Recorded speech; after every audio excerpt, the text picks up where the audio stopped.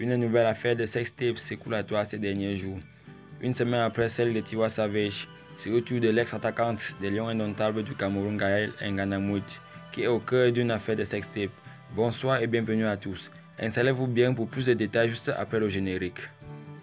Mais tout d'abord, avant de commencer, n'oubliez pas de vous abonner si vous êtes nouveau sur la chaîne et d'activer la cloche de notification pour être au rendez-vous de nos prochaines vidéos. Alors, bon visionnage.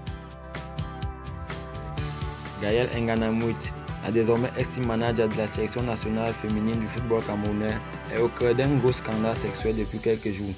Des vidéos de pratiques homosexuelles impliquant la joueuse camerounaise se sont retrouvées sur la toile. La rédaction de Cameroun Web a pu consulter une de ces vidéos dans laquelle une jeune femme s'envolait en l'air devant la caméra d'une autre femme dont la voix ressemblait drôlement à celle de Gaël. La scène a été filmée dans un véhicule dont l'intérieur ressemblait également à celui de la joueuse camerounaise. Selon les informations, l'homosexualité de Gaël Nganamou est un secret de polichinelle.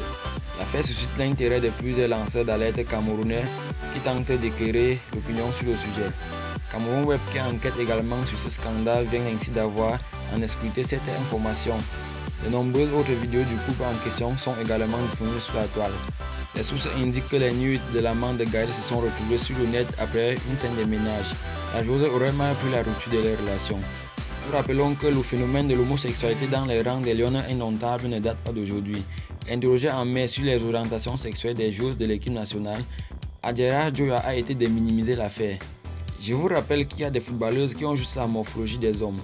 Je pense que les gens doivent arrêter de croire que les footballeuses sont des lesbiennes parce que dans tous les domaines on trouve ça. On trouve les homosexuels dans tous les domaines, a déclaré Chuta Joya Adjara à la presse. Les scandales sexuels de Gaël Nganamut interviennent au moment où la joueuse décide de démissionner de son poste de team manager de l'équipe féminine nationale du football camerounais.